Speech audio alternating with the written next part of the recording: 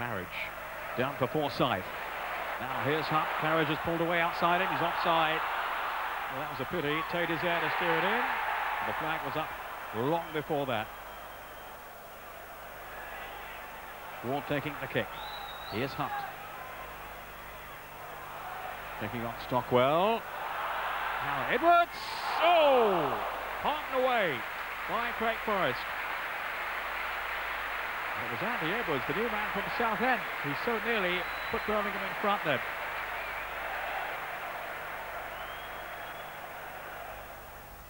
Gawn in ahead of Muir, but now it's Forsyth. It's a neat little pass too to Claridge. Two at the far post, Claridge with the cross, good save! Muir with the header, and Forrest was there. Superb anticipation by the goalkeeper.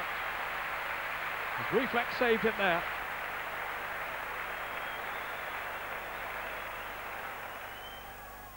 Forsyth. Oh, some neat work then by Sedgley. Thread it through the middle. Off goes Marshall. This is a great chance. What a save by Bennett. Mathie, though, following up.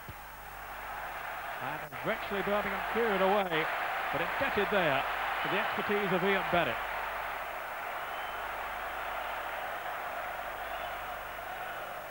Here's Stockwell, the Ipswich captain. Mathie to Sedgley, who showed some fine touches in the first half. This is Sedgley now, thinking well with Marshall! And he's putting it in too. Just over a minute gone in the second period, and Ipswich have the lead. Ian Marshall.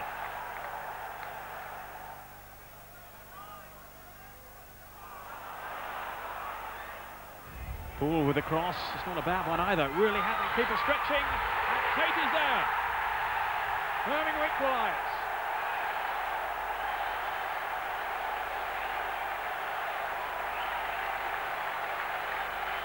Ward to pick up the play for Birmingham. Skipping past the tackle of Williams. Now Otto's right side Stockwell. Still Otto! Oh, terrific goal! Oh, what a strike by Ricky Otto! The fans who barracked him last season are calling a different tune now.